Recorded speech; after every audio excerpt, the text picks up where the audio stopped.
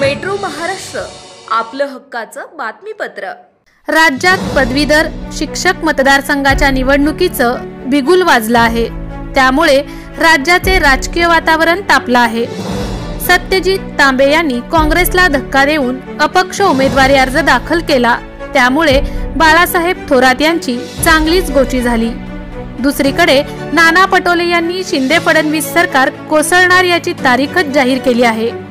पटोले यांनी येत्या चौदा फेब्रुवारीला हे सरकार कोसळेल अशी भविष्यवाणीच केली आहे. अमरावती पदवीधर मतदारसंघाचे महाविकास आघाडीचे अधिकृत उमेदवार धीरज लिंगाडे यांच्या प्रचारावेळा नाना पटोले बोलत होते. यांनी शिंदे फडणवीस सरकारवर जोरदार टीका केली आहे.